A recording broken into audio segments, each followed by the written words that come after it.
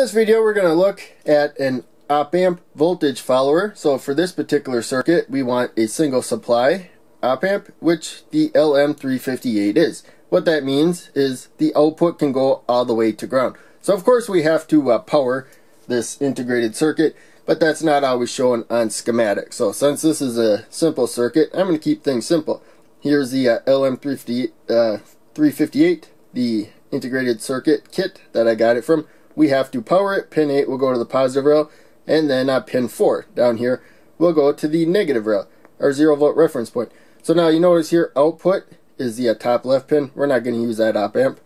Output's the uh, top pin. Right below it's the inverting input and then the non-inverting input. Whereas the schematic, I have the non-inverting input above the inverting input. So it's very uh, important that you pay close attention to which one is plus and minus, both on the schematic and on the integrated circuit because they don't always uh, line up. But uh, this is it. I'm going to grab a long jumper just because my uh, little jumpers that uh, bridge uh, one spot next to the other don't have any insulation, so they're a little hard to see.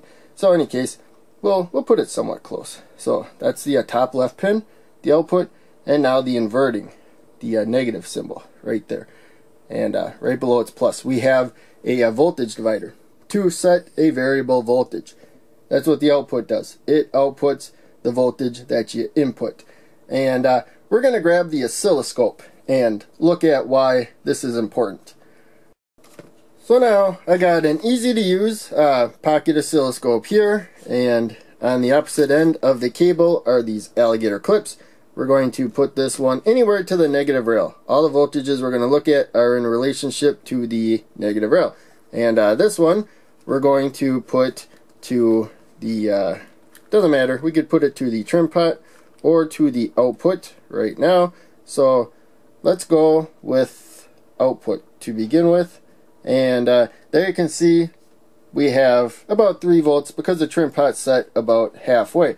And so if each one of these squares is 1 volt. If I turn the uh, trim pot down, now you can see we get down to 0 volts. I got negative rail there, and then in relationship to the negative rail, the output is 0 volts.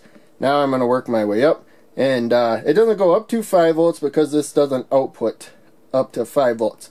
Looks like it's just shy of 4 volts. So that's common with uh, outputs of integrated circuits. Sometimes they can't go to one rail or the uh, other one. And uh, in any case, we can look at the voltage of the uh, trim pot just by going there. So the input here is not letting current in or out. So the voltage at this point is the voltage that uh, you see right there.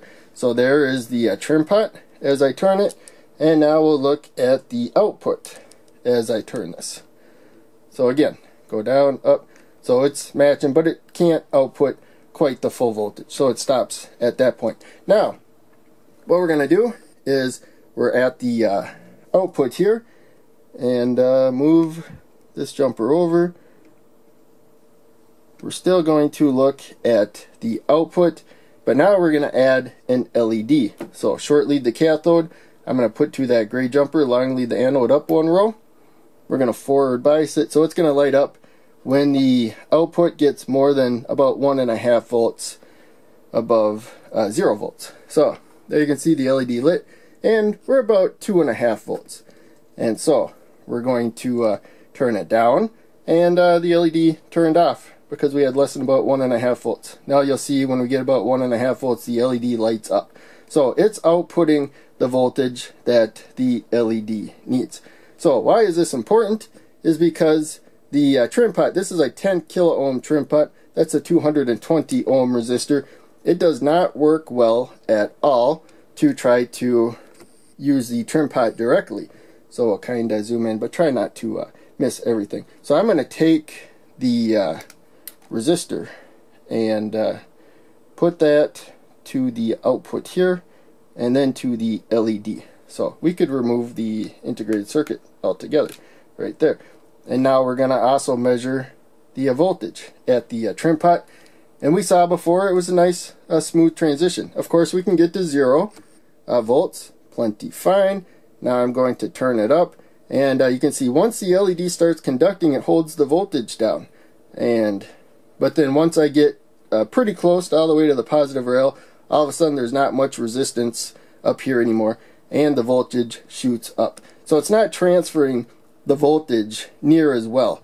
It's really not transferring it well at all. There you can see we got, uh, even though I'm slowly changing it, we got points where the voltage sticks and then when it suddenly changes uh, rapidly and whatnot. So that is what the voltage follower is for. So, hope that all makes sense.